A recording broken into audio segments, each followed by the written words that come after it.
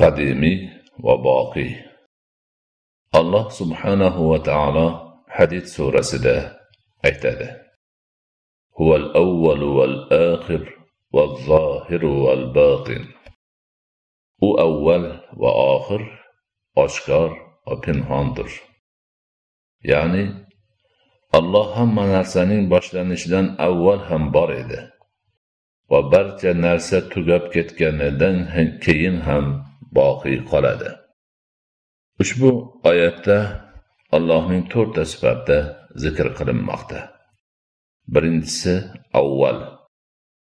U hamma narsadan avval ya'ni barcha mavjudotlar yo'qligida ham olloh bor edi. Mavjudotlarni avval sifatiga ega bo'lgan olloh yaratdi. Ikkinchisi oxir.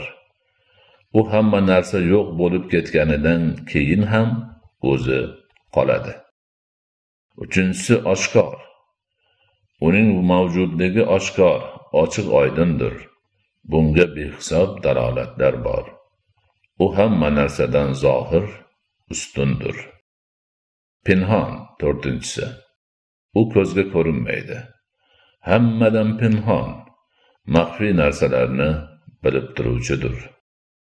qasas surasida alloh taoloning boqiyligi haqida shunday deyiladi ولا تدع مع الله إلها آخر لا إله إلا هو كل شيء هالك إلا وجهه له الحكم وإليه ترجعون Allohdan o'zga hech bir ilohga iltijo qilma.